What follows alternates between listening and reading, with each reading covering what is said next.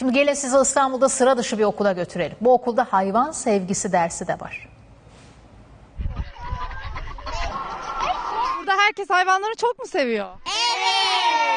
Okul yani çocuklar için çok cezbedici. Ders yapsak da okulu seviyorum. Çatalca'dan, Arnavutköy'den, Bursa'dan bile hayvan getirdik. Biz burada hayvanlara bakıyoruz. Nasılsın?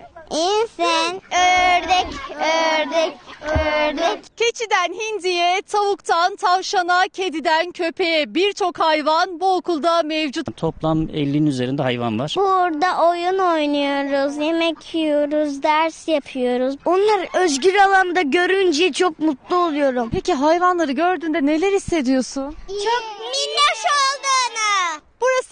İstanbul'un göbeğinde bir devlet okulu. Okul müdürü Mehmet Yüzgül öğrencilerine hayvan sevgisini aşılamak için bambaşka bir yol denedi. Bu sitelerin içinde çocuklar hayvanlardan uzak kalıyorlardı. Okul bahçesinin bir bölümünü adeta hayvanat bahçesine çevirdi. Sitelerin arasında çocuklarımıza doğal ortam oluşturduk. Çok sevirmiş hayvanlara. Ve bu şekilde hayvan sevgisini onlara aşılayabildiğimiz için çok mutluyuz. Bu da Pamuk, miniklerin en sevdiği dostu. Tam bir sevgi arsızı. Öğretmenimiz onu kucağına aldı, sevdik hepimiz. Ahmet Yavuz da ona havuç verdi. Keçiler kaçtı, minikler kovaladı. Ders bitişi okul bahçesi cıvıl cıvıldı.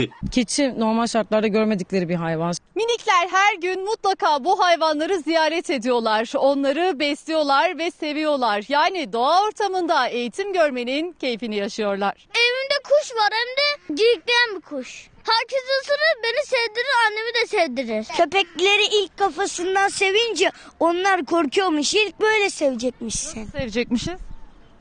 Nasılsın? İyisin. Ben köpekleri, tavşanları, bütün hayvanları çok severim. Sıra dışı okulun sadece öğrencileri değil, velileri de mutlu. Şehrin içinde hayvanlarla iç içe eğitim görebiliyorlar. O yüzden kendimizi çok şanslı hissediyoruz açıkçası. böyle güzel bir şeyle çocukların meşgul olması son derece faydalı. Çan, gitmeyin, at.